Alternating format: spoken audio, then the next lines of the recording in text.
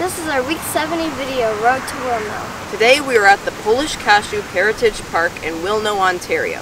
Wilno was the first Polish settlement in Canada.